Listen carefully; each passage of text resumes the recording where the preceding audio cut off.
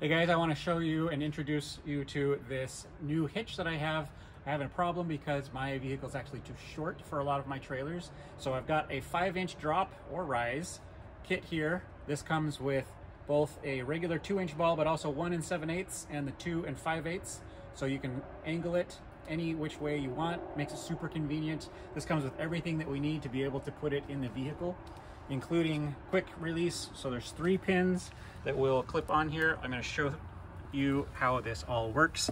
And we've even got the locking hitch receiver here so I can make sure that nobody takes it out of my vehicle and steals it. So let's get right to it. So on a standard two inch receiver, I insert this first. You can see there's two holes here so I can set the depth that I want The hitch lock here has a cover and then all of the pins come with O-rings as well. So I'm gonna slip that on.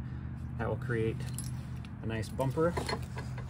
Slip that through and I take the key out.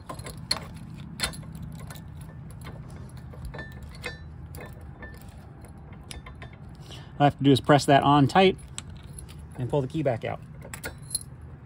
And then I'm gonna put the cap back over it to keep the mechanism nice and clean. So that's secure, locked onto my vehicle.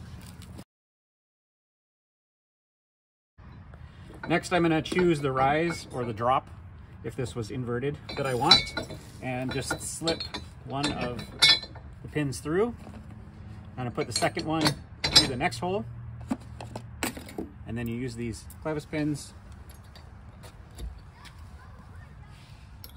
to slide through, lock that in place.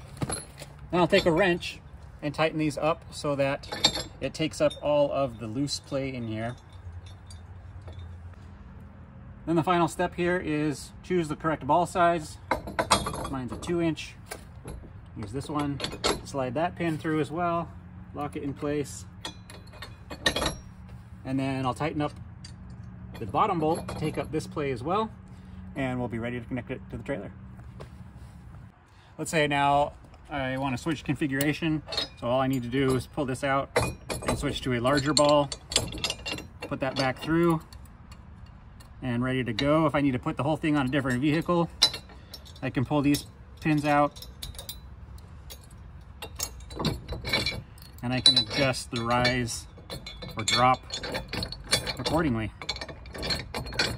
Makes it super easy and convenient for whatever trailers you need to connect to any vehicle that you have. I've got this all set and adjusted, so I was really close. I'll go ahead and lower my trailer down onto it.